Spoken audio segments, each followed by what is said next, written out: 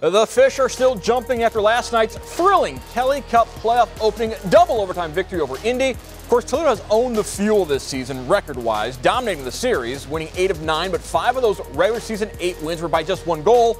Certainly the Fuel played the Walleye tough last night, scoring late in the third to force the OT. Perhaps lost in Tyler Barnes' heroics, three points including the game winner. The job Pat Nagle did in net, stopping 46 shots in the win.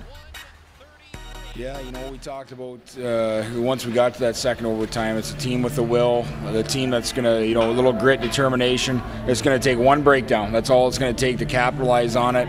Uh, and we did. And uh, Tyler Barnes has scored several big goals over the years here, and, and uh, he came through with another one. And the, the best thing I liked is Nagle played a heck of a game. We didn't we didn't waste a great start. That's the biggest thing. When you when you have goaltenders who are playing great like that, Marcoux as well, uh, you don't want to waste a start, and we certainly didn't do that tonight.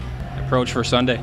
Well, we got to flip the page. You know, you got to turn the page quickly here. As much as we're on an emotional high right now, you know, there's that day Saturday to get that rest and fluids back, and then we're right back at it Sunday. So, um, you know, again, I love the fact we're up one nothing, but you got to flip the page quick.